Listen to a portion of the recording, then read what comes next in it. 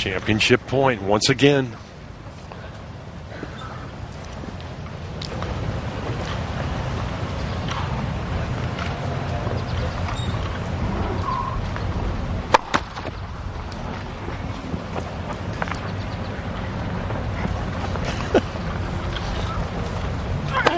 Yes, big kicker, open court. There it is.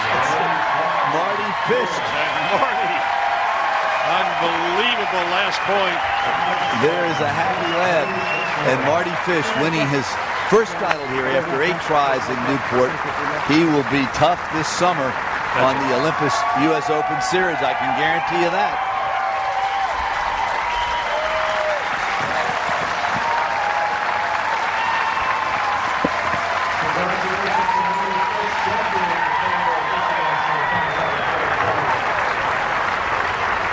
Mardy Fish, a standing ovation from this huge crowd here at the casino. Campbell's Hall of Fame Tennis Championships, and we have a champion.